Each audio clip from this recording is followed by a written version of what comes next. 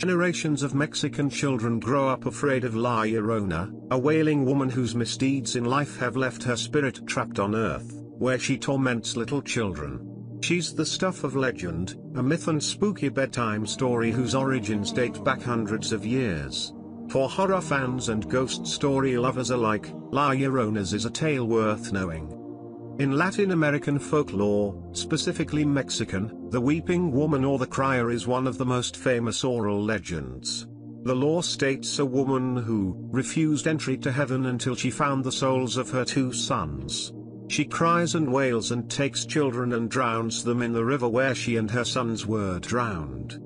According to the legend, in a rural village in Mexico, there lived a beautiful young woman named Maria.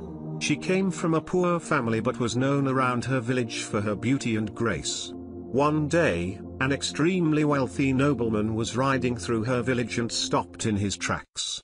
He had traveled all over the world and has never seen anyone as beautiful as Maria. He was mesmerized by her beauty. He knew that he had to win her heart. Maria was easily charmed by him, so when he proposed to her, she immediately accepted. Eventually, the two got married, and Maria gave birth to two sons. Her husband was always traveling and he stopped spending time with his family. When he came home, he only paid attention to the children. As time passed by Maria could tell that her husband was falling out of love with her because she was getting old. One day, he returned to the village with a younger woman, and bid his children farewell, ignoring Maria.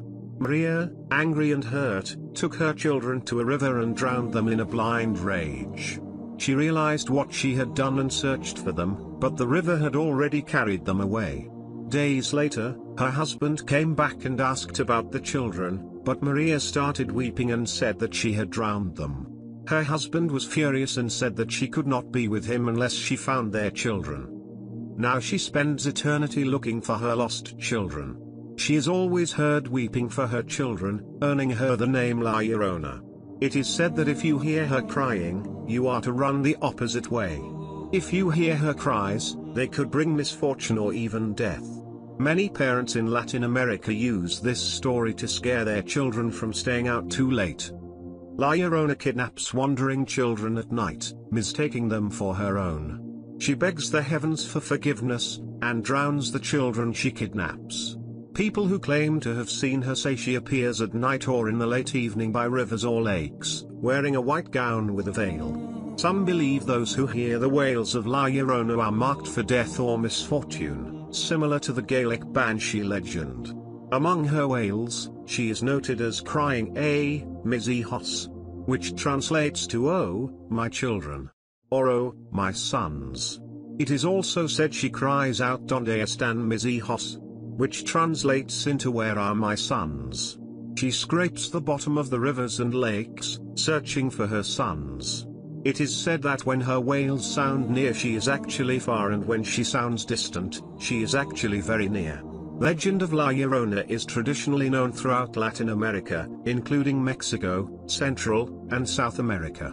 La Llorona is also sometimes identified with La Malinche, the Nahua woman who served as Hernan Cortes's interpreter and mistress who bore his children and who some say was betrayed by the Spanish conquistadors.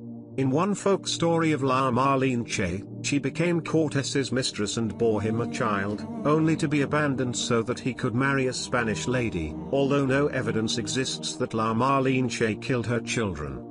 In this context, the tale compares the Spanish discovery of the New World and the demise of indigenous culture after the conquest with La Llorona's loss. Stories of weeping female phantoms are common in the folklore of both European and indigenous American cultures.